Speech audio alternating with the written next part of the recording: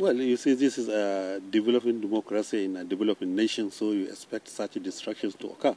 But uh, I believe we fine tune our laws, especially electoral laws, and, and we believe we shall come to the mature stage that we are expecting.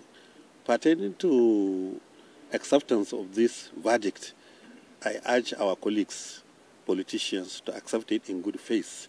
And also I have to use the opportunity to congratulate politicians, to congratulate the leaders of the opposition political parties, because it is better for them to resort to judiciary, which they have done so, rather than uh, going, taking, you know, arms against, sorry, sorry. against each other. Yeah. So we have to congratulate our politicians for resulting to judiciary, and the judiciary has done well.